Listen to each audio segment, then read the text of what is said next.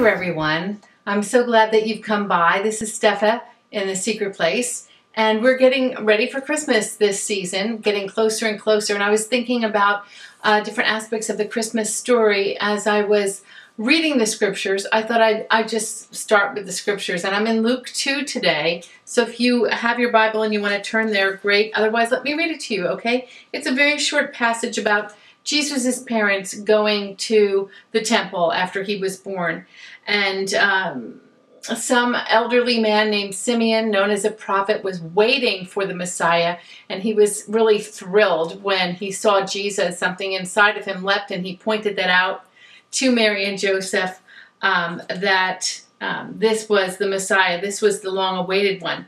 And then, um, starting with verse 36, the scripture says, Now there was one, Anna, a prophetess, the daughter of Phanuel of the tribe of Asher.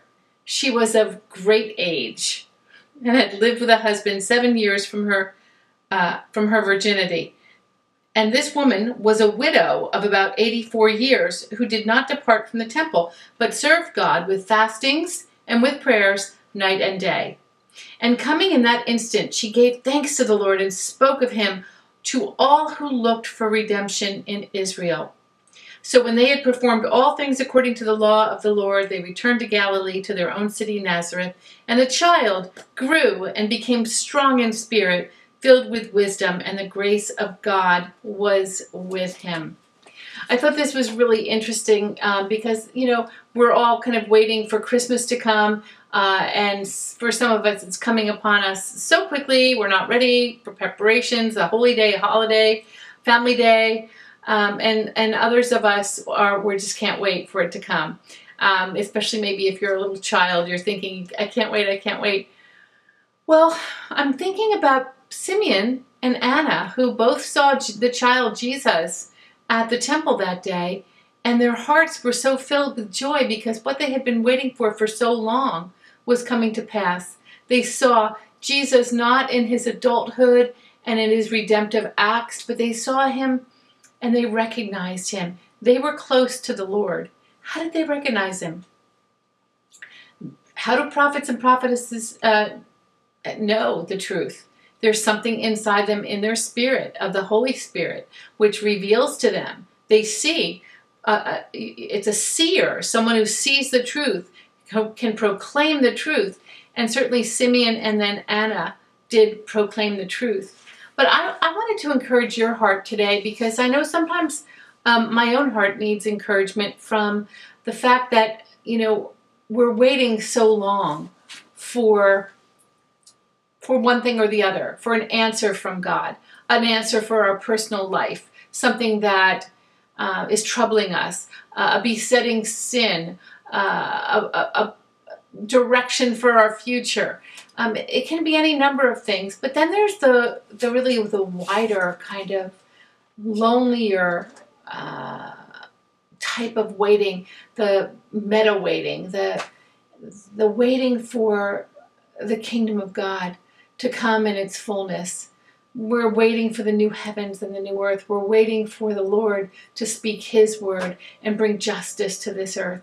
We're, we're walking around with deep, deep empathy for those who are hurting and maybe ourselves as well. Um, we see the, the crime and the pain and the darkness around us and the pandemonium sometimes, and we say, Lord, Lord, when? We're waiting for you to move. When will you move? And we don't know. Who knows? No one knows the time or the day or the season. But I think one of the things to encourage us during this season of awaiting the celebration of the baby Jesus, of his birth, is to remember that there will be a celebration. And there is a celebration. There is a time, there's an appointed time.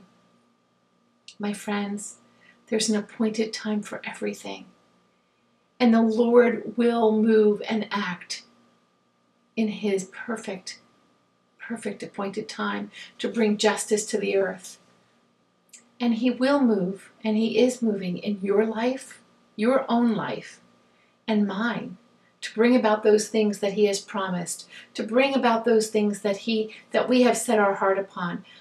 His his will, his love, the transformation of our soul, healing for a loved one, um, a place in this earth to to to to minister, to love, to work, um, to find purpose. He is bringing that, and sometimes I just want to say, it's right under our nose.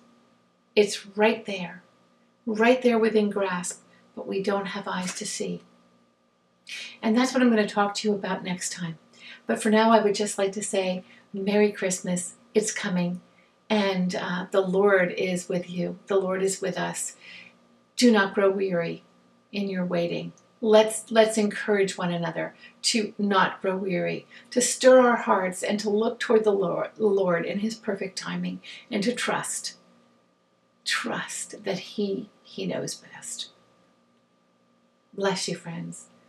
Bless you. This is Steffa from The Secret Place. Have a great day.